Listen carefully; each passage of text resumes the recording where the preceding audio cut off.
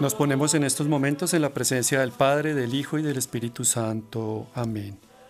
Te saludamos, Santísimo Señor Jesucristo, con la firme convicción que te encuentras dentro de nuestros corazones. Te damos gracias por tu sacrificio cruento en la cruz, por haber derramado hasta la última gota de tu sangre por cada uno de nosotros, porque nuestros nombres, la voluntad del Padre y la mirada de la Santísima Virgen María al pie de la cruz hicieron que tú llegaras hasta el final. Te queremos pedir por esa sangre redentora por cada uno de nuestros oyentes, en particular por aquellas personas que se sienten solas, deprimidas, desamparadas, por aquellos que están privados de la libertad en alguna cárcel, en alguna montaña, por los que están padeciendo la enfermedad en un hospital o en las camas allá en sus hogares atendidos y custodiados por sus familiares. Te queremos en definitiva pedir por todas las personas que están pasando por alguna prueba difícil. A ti, Santísima Madre del Cielo, te queremos pedir que infundas la gracia de la llama de amor de tu Inmaculado Corazón en nuestros corazones. Sé siempre nuestra Madre, nuestra modelo, nuestra Maestra.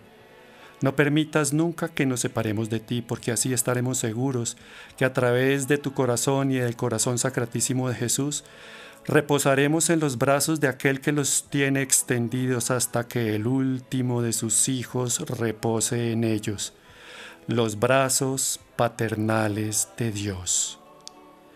Y a nuestros ángeles custodios les suplicamos que alcancen para cada uno de nosotros las santas inspiraciones del Espíritu Santo, que nos animen, que nos motiven todos los días a ponerlas por obra para que mi voluntad y la voluntad de Dios sean una sola y a través de esa sacratísima voluntad podamos adquirir la santidad. A ti, Santísimo Señor Jesucristo, la gracia, el honor y la gloria por los siglos de los siglos. Amén.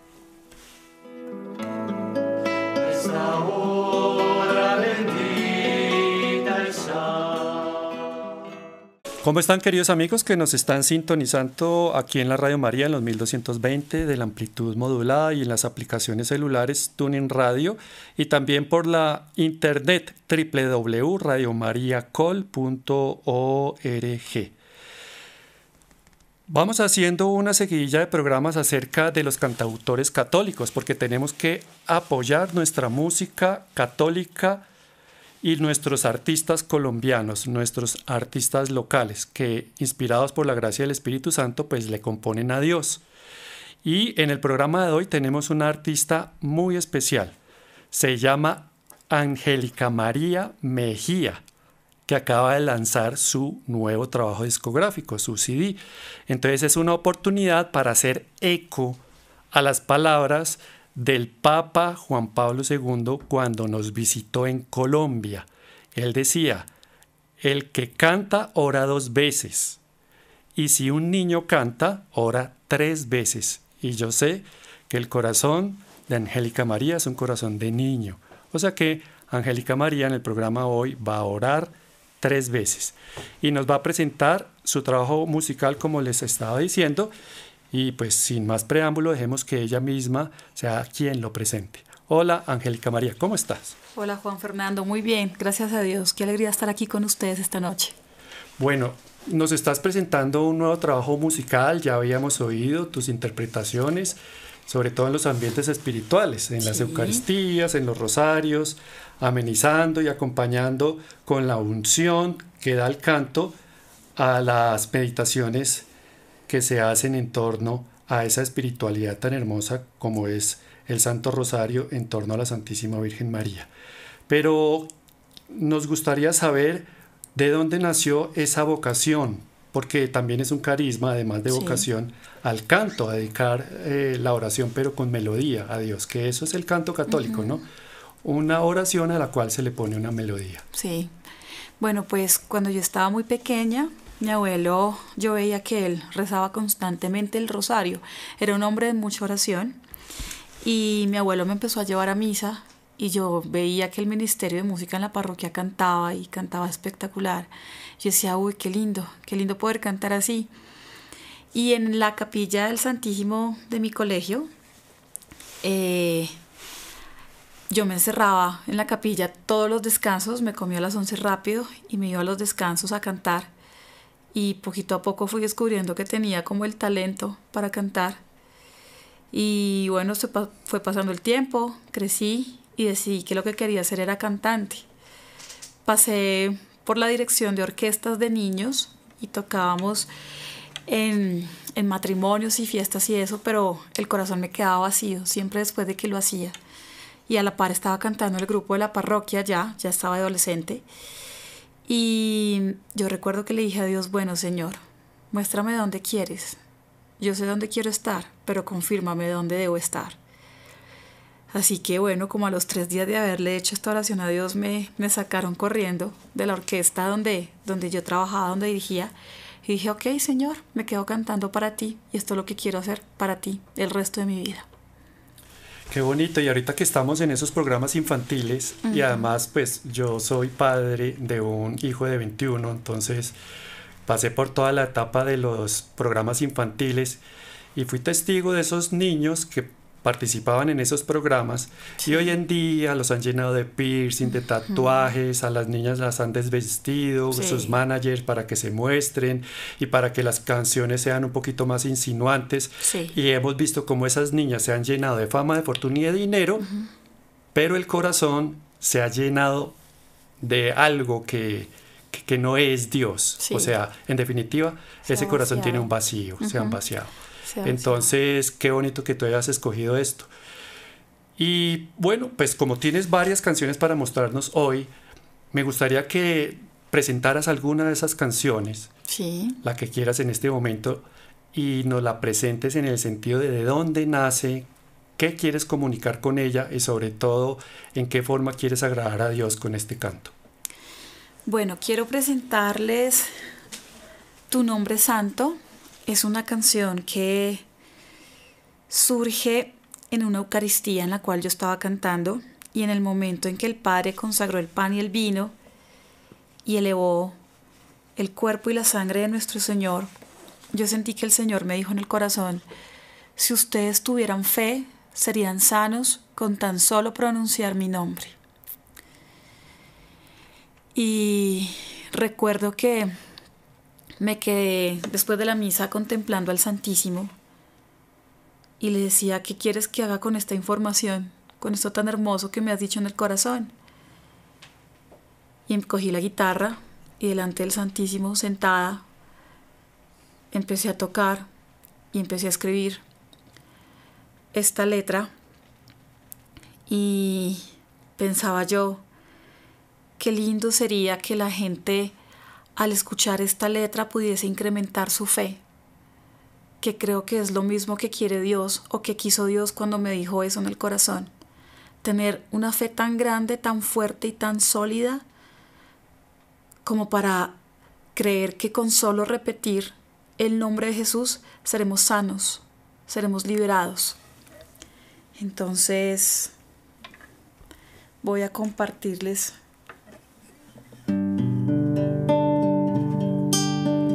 Santo.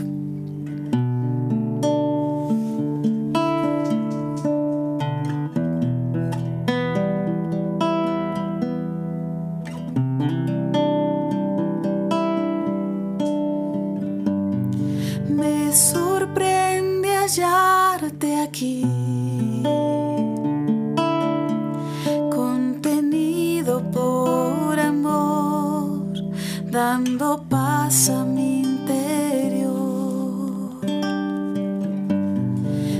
a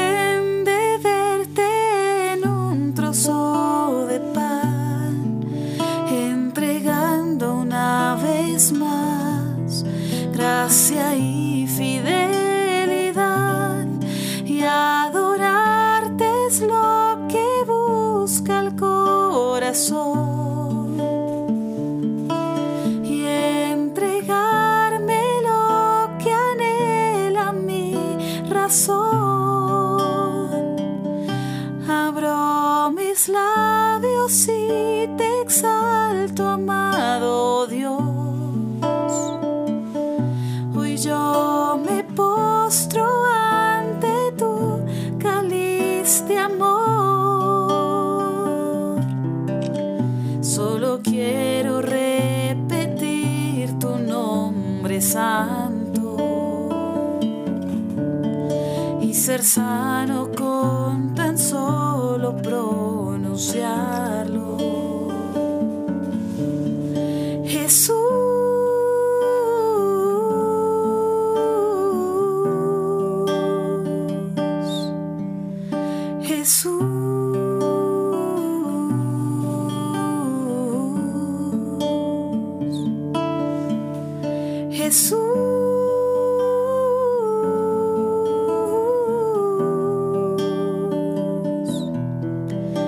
ser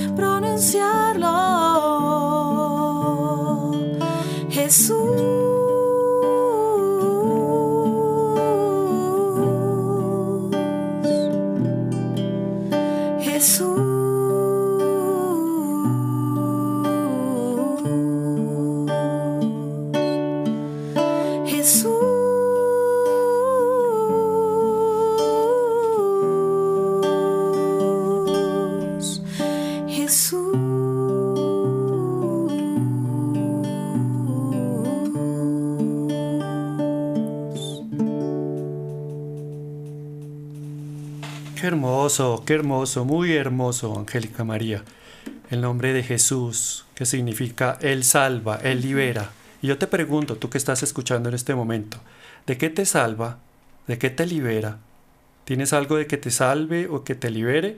¿O ya tú te liberas y te salvas a ti mismo porque tienes algunos números en la cuenta corriente, algunos bienes de fortuna o algunos diplomas en la pared de tu, de tu oficina? Y te crees que con eso ya puedes vencer el mundo. ¿Qué otra canción tienes para mostrarnos en, este programa, Angélica María? Una canción que haya también salido en el sagrario o muchas veces en la intimidad de tu habitación, porque muchas de las inspiraciones llegan es cuando uno apaga la mesita, al pie de la mesita de, noche, la lamparita, y uno se entrega al descanso nocturno y viene como esa voz interior, ese diálogo íntimo con el Espíritu Santo, donde uno en las pavesas del día ya le está entregando sus lágrimas y sus alegrías, sus afectos más interiores. Bueno, hubo otra canción que en la intimidad de mi habitación, como dices tú, nació por un momento de una situación que estaba pasando. Estaba yo em, embarcada en una relación afectiva que no sabía cómo dejar, pero que quería soltarla, pero no encontraba el momento, no encontraba las palabras, no encontraba el, que te dijera yo, como el sentir que si me soltaba esta relación iba a ser completamente libre.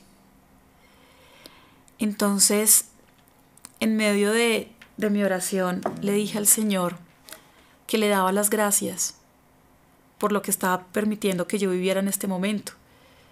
Porque aunque la experiencia fuera difícil y fuera dolorosa, sabía que Dios me estaba llevando a madurar, a crecer, a aprender algo sobre esta relación difícil que estaba teniendo.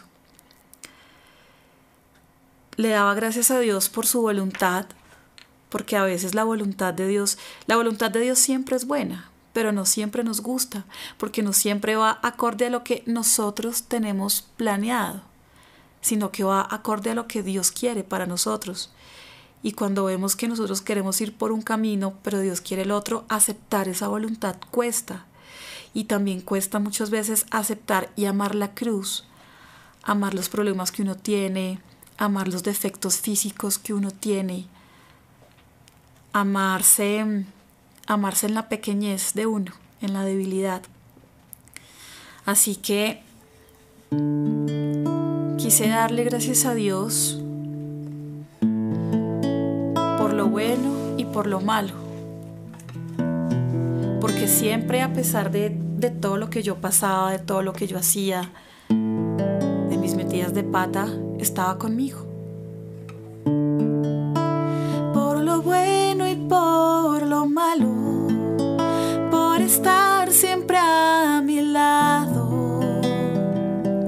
Gracias Señor.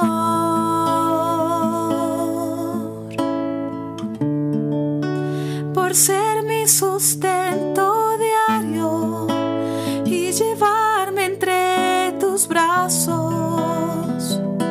Gracias Señor.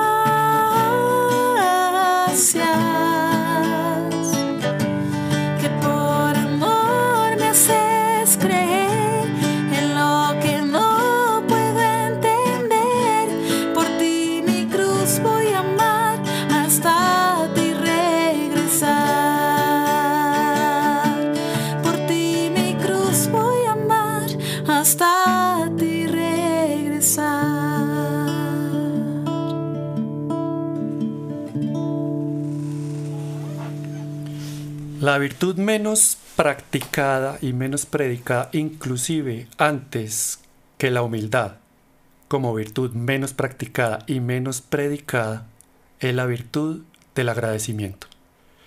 Y el agradecimiento se convierte en virtud cuando se agradece lo que, entre comillas, no es digno de ser agradecido, como el de agradecer la cruz. La cruz. Porque lo que constituye un santo, lo que lo sustenta como un trípode es la cruz, la Eucaristía y la Santísima Virgen María. Qué bueno que hayas compuesto esta canción, porque muchas veces nuestra oración se convierte en rumiar amarguras y pedir cosas. Entonces, esto es algo para que nosotros lo tengamos en cuenta. Debemos ser agradecidos Sí. por todo, inclusive por lo aparentemente malo.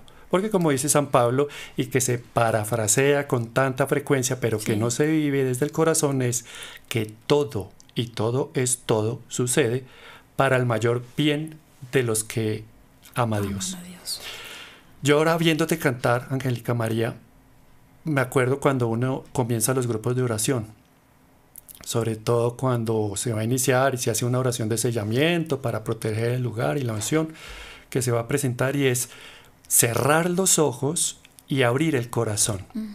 Yo veo que tú cierras los ojos cuando cantas y se siente la unción porque abres tu corazón. Me gustaría que una palabrita le dijeras a los ministerios de música, especialmente en los que están en la Eucaristía. Sí. ¿Por qué lo digo? Porque obviamente hay que hablar lo bonito, lo bello, pero también hay que decir las cosas que a Sí. muchos no le van a agradar, como esto que voy a decir. Muchas veces el Ministerio de Música se pone delante del altar de espaldas a cantar. Y cuando viene la- el, el Santísimo, ya está en el altar, le dan la espalda y no lo tienen en cuenta. O cuando están en los segundos pisos, uno voltea a mirar y el que está en el Ministerio de Música, el del órgano, el que está cantando, mientras el sacerdote está predicando o haciendo las oraciones correspondientes a la Eucaristía, está chateando con el celular.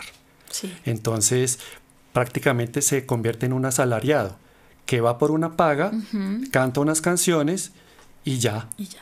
y de eso vive. Y de eso no se trata. O sea, los católicos tenemos que rescatar esto, Sí. que el ministerio de música es eso, un ministerio, como el ministerio lectorado, Sí. el lector o el ministro de la comunión, etcétera. Tiene que hacerlo en gracia de Dios y con unción, porque no le está cantando a una persona mortal, Sí. así tenga la dignidad más importante del mundo, le está cantando a Dios mismo. Y la música lo que produce en Dios es eso, acariciar su corazón y consolarlo porque realmente se lo merece. ¿Qué nos puedes decir al respecto y si tienes alguna canción que tenga esa, e, es, eso como de alabanza, de, de, de reparar el corazón de Dios? Pues mira, yo tengo para decir la verdad muchas cosas, ¿no? Todo lo que tú, todo lo que tú mencionas es totalmente cierto. Pero esas cosas pasan también porque al momento en que uno entra a cantar a un ministerio o a tocar en un ministerio de música, lo hace porque vio a otros y en otros vio esas malas actitudes, esos malos ejemplos. Yo quiero invitar a las personas que escuchan y que tienen ese deseo de pertenecer a un ministerio de música. Lo primero que hay que hacer es evaluarse, ser honestos. Uno muchas veces escucha en misa gente cantando que uno dice, voy a decirlo con todo respeto, puede sonar fuerte, pero uno dice, qué tristeza que habiendo tantos buenos cantantes en nuestra iglesia católica, pasen a cantar los que tienen simplemente ganas de figurar, de reconocimiento, de que la gente los vea allá al frente o los escuche desde atrás, pero realmente no tengan un talento para cantar. Pienso que desde ahí empieza, empieza todo la humildad para reconocer si se tiene o no se tiene el talento. Entonces, si quiero cantar pero no tengo el talento para cantarlo, puedo sencillamente servir desde otras partes. Si no tengo voz para cantar pero tengo voz para leer, puedo ser un excelente lector.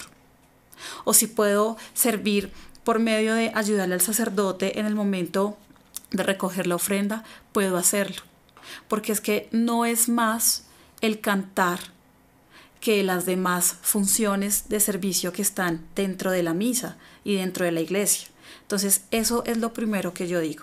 Hay mucha gente llena de mucha soberbia, de muchas ganas de que el mundo la felicite, la gente que va a la misa la felicite, pero realmente no está cumpliendo a cabalidad su papel como cantante. Lo que hace es distraer lo que hace es entorpecer el mensaje, porque además la música tiene que ir acorde a la humildad del Padre, a las lecturas diarias y uno tristemente también escucha canciones que no tienen nada que ver con la Eucaristía ni con las lecturas diarias. Lo segundo es que si se dio cuenta de que tiene el talento, se forme, estudie, se prepare, tome clases de canto o clases de guitarra o clases de batería o de bajo, porque es que no se justifica solamente tener un talento, sino que para Dios tenemos que ofrecerle lo mejor. Entonces no voy a darle yo de lo poco que sé a Dios.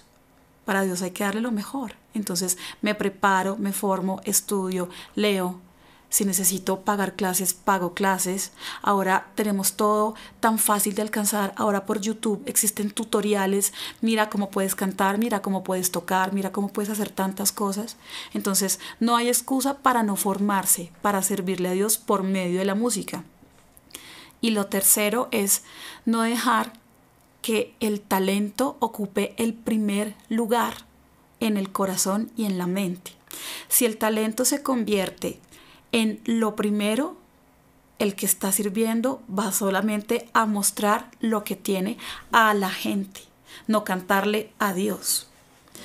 Uno ve grupos de música espléndidos, que suenan divino, las voces son espectaculares, pero uno los voltea a mirar y uno dice, caramba, hace falta humildad.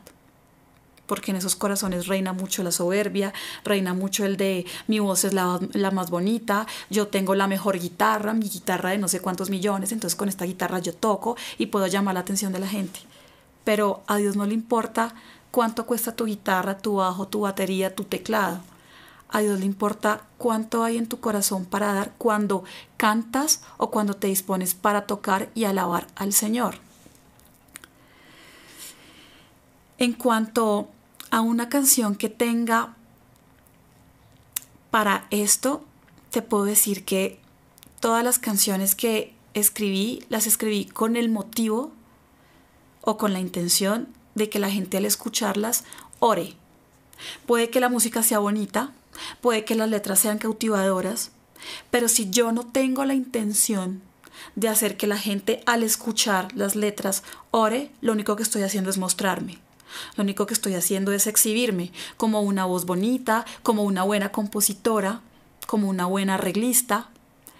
Entonces, te puedo decir que básicamente todo el CD está basado en eso, en que la gente ore, en que la gente al escuchar la letra empiece a meditar y a rumiar, y a rumiar tanto hasta que convierta su canción, la canción que más le llegó al corazón, en una oración. De esa manera, lo que yo hago, mi ministerio, va a alcanzar a otros. De esa manera, mi ministerio del canto se convierte en una oración. Es importante que siempre, para poder discernir si uno tiene o no tiene el talento para cantar, porque es importante que hay gente que tiene un don, pero por el temor a las críticas lo esconde. Tengo ahora una alumna que tiene un don para cantar impresionante. Y yo espero que ella me esté escuchando. Ella se llama Karin Silva. ¿Tú enseñas canto? Soy profesora de canto. Ah, vea pues. Soy profesora de canto. Y ella me dice, no, mira, es que yo llegué a cantar allá y cuando empecé a cantar empecé a desafinar, pero tiene una voz hermosa. Y cuando empecé a cantar empecé a desafinar y no sé qué sucedió porque es que yo digo, no, es que la gente me escucha y wow, entonces yo le digo allá, no, es que no es la gente la que te escucha, es Dios el que te escucha. No todo el mundo le gusta lo que uno hace.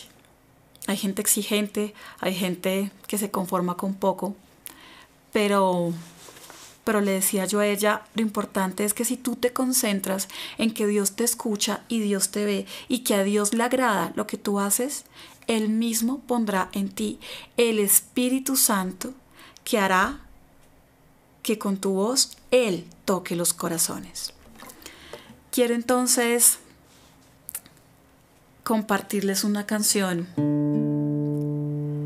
que le compuse al Espíritu Santo en mi habitación mientras caía un aguacero tremendo. Y entonces yo escribía y escribía y quise aprovecharme del milagro de la lluvia, porque la lluvia es un milagro. Uno muchas veces se levanta y si ve que está lloviendo reniega, pero sinceramente la lluvia es un, don, es un don y es un milagro de Dios, tal vez de los más sorprendentes que podemos ver cuando Dios nos quiera sorprender con nuestros propios ojos. Y si no podemos verlo, lo podemos sentir. Entonces mientras yo componía esta canción, cuando abrí mis ojos, me di cuenta de que mi habitación estaba inundada.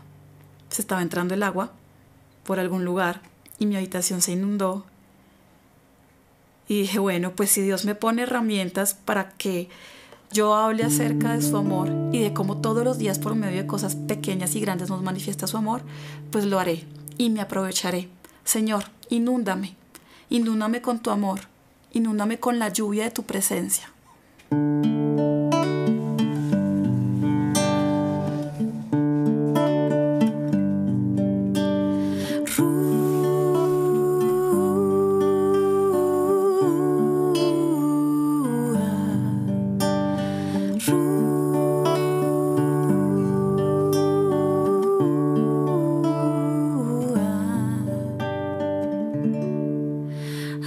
la lluvia descendiendo desde el cielo. Y va inundando lo que en mi corazón llevo. Cada gotita es como el fuego que en mi pecho cada día Dios enciende. El fuego de tu espíritu que en mí se mueve.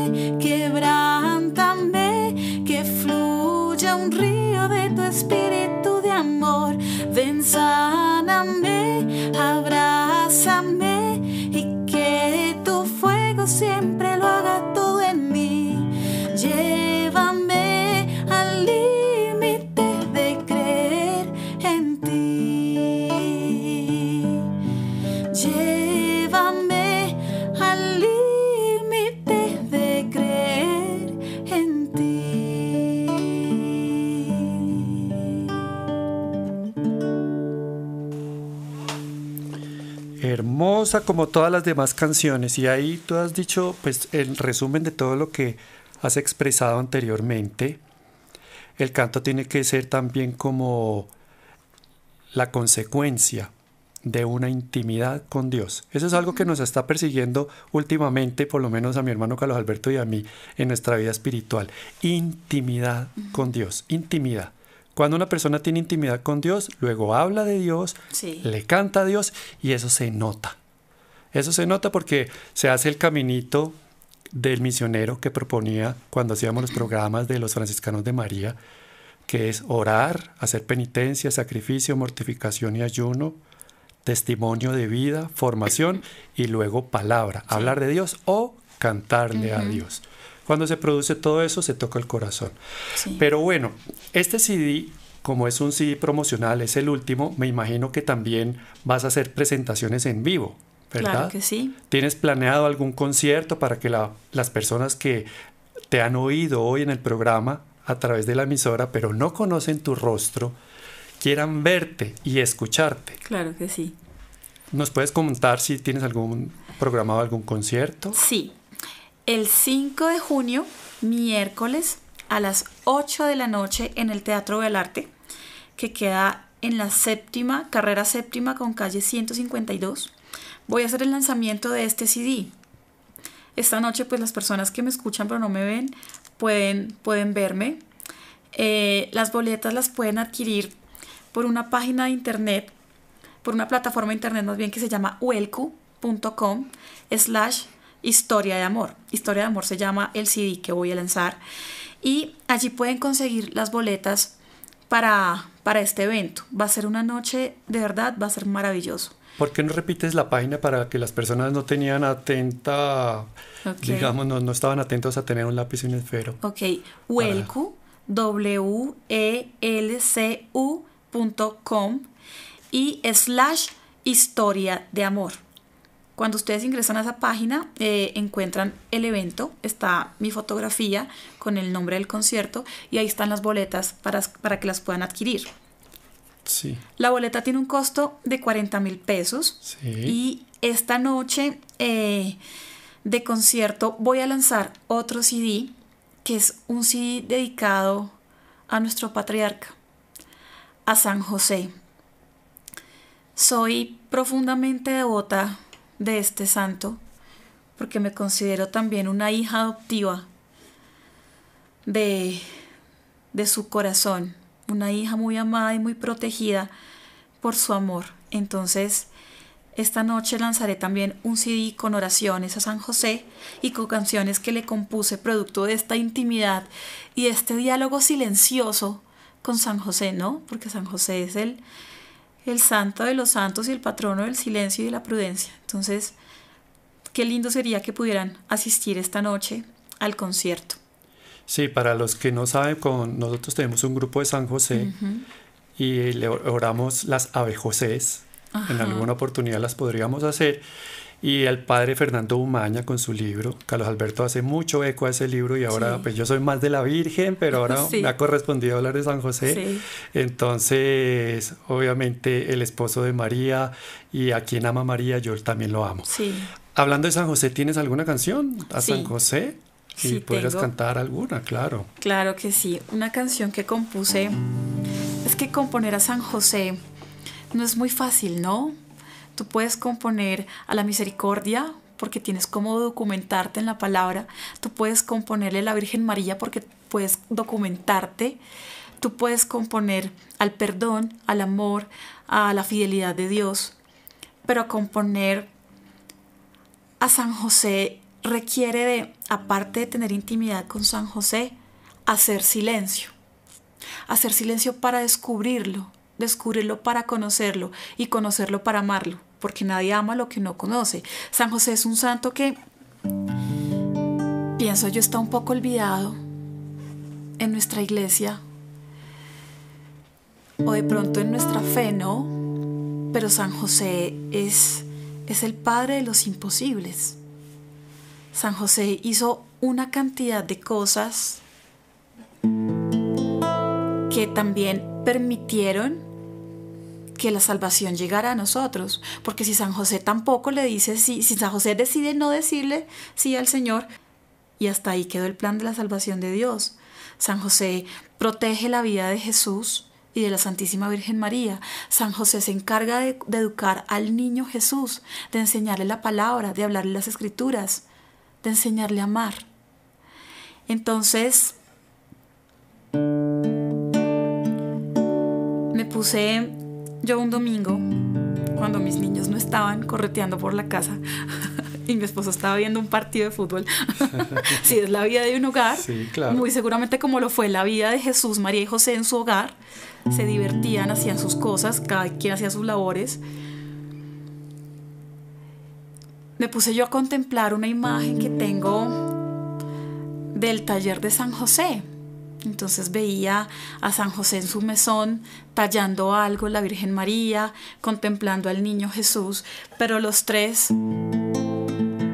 unidos como familia. Entonces, lo único que hice fue hacerle una pequeña oración a San José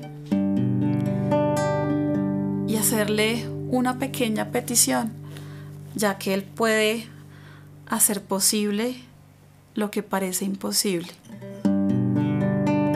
Martillo y cincel. Yo quiero a callar y obedecer. Como tú, oh San José, yo quiero ser. Entrar en tu taller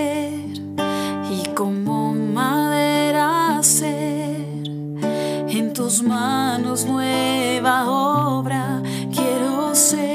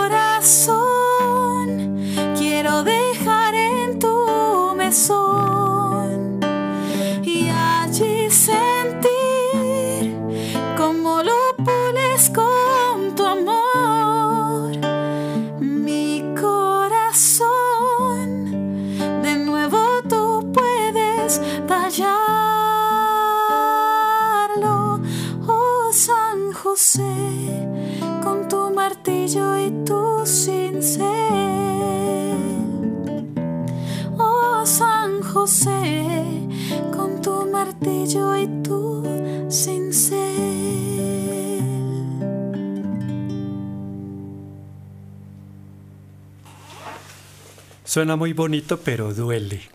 Yo me imagino a, punta de cincel y martillo tallando el corazón. Eso duele, pero, purifica. Purifica porque se dulcifica con el amor de San José. Sí. Lo que la Santísima Virgen María tiene por gracia, San José lo tiene por contagio. Y es lo mismo, porque son un solo corazón, sí. por la gracia del sacramento del matrimonio. Ha sido muy bonito este programa, hemos tenido unas experiencias maravillosas contigo, con tu presencia. Yo te quiero dar las gracias porque has permitido que nosotros rocemos tu alma y acariciemos tu corazón. Y en el intento rozamos el alma y acariciamos el corazón de Jesús, porque estás llena de Dios. Eso se ve, eso se transmite, llena del amor de la Santísima Virgen María y ahora como nos lo presentas, de San José. Ya estamos llegando al final del programa, pues nos estamos enfilando, nos quedan todavía unos minutos. Y bueno, no sé si quieras presentar alguna otra canción de tu CD, alguna que nos quieras presentar que no quieres que se quede fuera del tintero, como se dice. Totalmente. Le compuse una canción a mi hijo mayor, que ayer cumplió cinco años. Y esta canción la, la compuse cuando yo estaba más o menos entre el séptimo u octavo mes de embarazo. Y es que cuando una mujer queda embarazada, hay críticas, ¿no? tanto positivas como negativas. Y yo recibí este tipo de críticas. Cuando yo quedé embarazada, la primera vez no estaba casada, estaba en esta relación tormentosa y complicada que no sabía cómo dejar. Y las críticas no se hicieron esperar. Mis amigos me apoyaban completamente, pero había gente que aún siendo de la iglesia me juzgaba, porque yo cantaba y la gente me veía y me decían, ¿cómo es posible que tú te subas a cantar embarazada y sin estar casada? Entonces, una respuesta que di fue, y entonces me deshago de esta vida para ser digna del ministerio del servicio al Señor por medio de la música. Esta persona que me hizo esta crítica nunca más me volvió a decir nada. No sé de qué manera el Señor habrá tocado su corazón. No sé ni siquiera yo cómo fui capaz de responderle a esta señora de esta manera. Puedo decir que fue por gracia de Dios. Pero escribí esta canción pensando en que si alguien que estaba embarazada la escuchaba y estaba pensando en que su hijo era un problema, yo quise que esta persona, hombre o mujer, papá o mamá, casada o no casada, producto de abuso o como fuera, entendiera que un hijo es una bendición, como venga. Es una bendición que trae más bendiciones.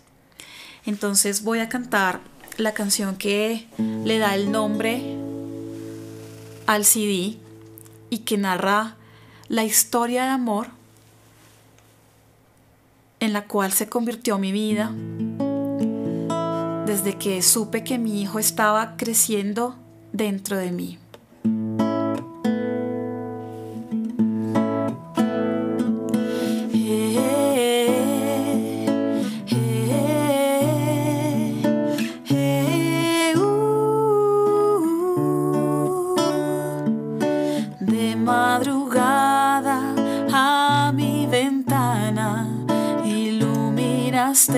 como el sol,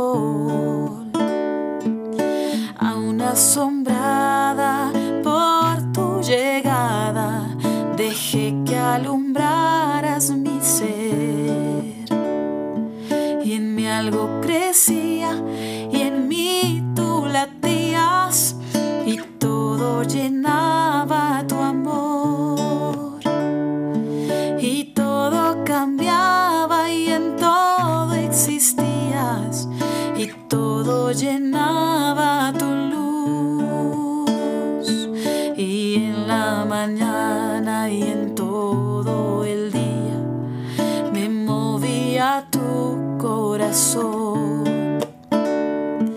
Y el tiempo pasaba y en mí tú crecías y así me llenabas de Dios.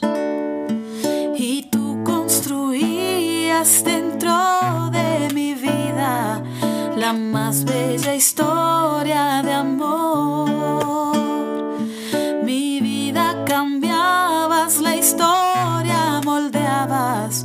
Perfecto instrumento de Dios. Y así tú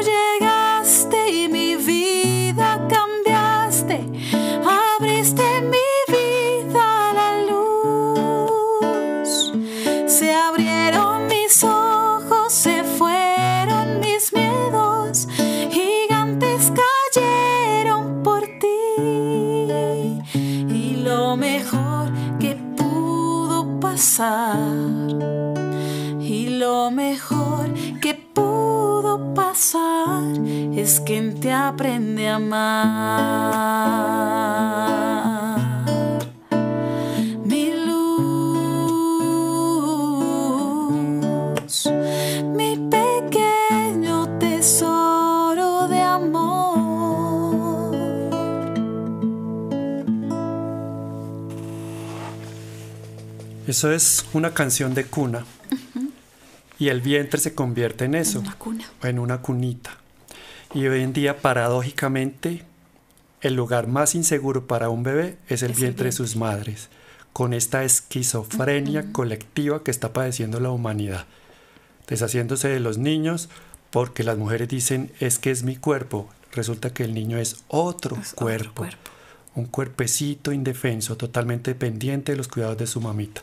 Qué bueno que hayas cantado esa canción, qué buena respuesta, una mujer valiente que le cayó la boca a una persona que juzgas por las apariencias y no ve el interior, como si lo hace Dios, que es el corazón de, de una mujer en este momento, una mujer gestante que genera la vida. Bueno, ya vamos llegando al final de nuestro programa, pero a mí me gustaría que en este minutico que nos queda, tú dirigieras la oración, o sea, ya una oración de viva voz, espontánea, con tus propias palabras, para que los oyentes después de este programa la atesoren y se motiven a cantarle a Dios. Canten como canten, pero que le canten a Dios. Le agrada que le canten. Sí. El sonido más agradable para Dios es la voz de cada uno de nosotros, como la tengamos. Pues tú la tienes privilegiada, pero el que canta feito, si lo hace con amor, a Dios también le va a gustar. Ok. Padre bueno, te damos las gracias por esta noche de oración, de música, de reflexión. Te pedimos que envíes tu Santo Espíritu sobre nosotros siempre que tengamos que servir, siempre que la gente nos vea sirviendo, pueda ver en nosotros ejemplo y pueda reconocerte a ti, que vea más de ti y menos de nosotros.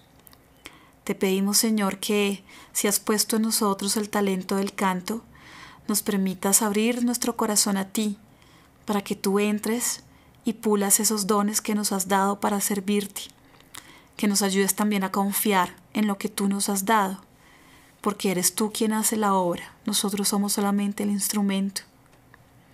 Te pedimos también a ti, Santísima Virgen María, en compañía de tu santo esposo José, José, que nos des la gracia de tener un corazón limpio, humilde y sencillo, pero valiente, lo suficientemente valiente que requieren estos tiempos como para llevar la música de Dios a los lugares donde, donde el mundo ha ensordecido muchos oídos, a los lugares donde la guerra también ha destruido familias y corazones. Te pedimos entonces, Santísima Virgen María, que nos acompañes en esta noche, en el descanso, y que permitas que en nuestro corazón habiten deseos de seguir y cumplir y amar la voluntad de Dios. Amén. Amén, amén, amén. Espero que ustedes hayan disfrutado este programa tanto como nosotros lo disfrutamos aquí en la cabina. Y nos quedamos aquí precisamente en la Radio María con la Madre de Dios. Que Dios los bendiga a todos. Radio María.